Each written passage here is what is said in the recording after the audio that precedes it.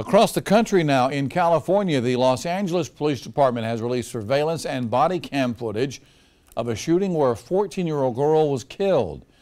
The teen was killed after officers fired on an assault suspect and a bullet went through a wall and struck the girl as she was in a clothing store dressing room.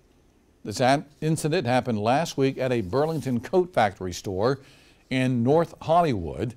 Police also fatally shot that suspect. At the time, police were responding to reports that the suspect was attacking people in the store with a bike lock.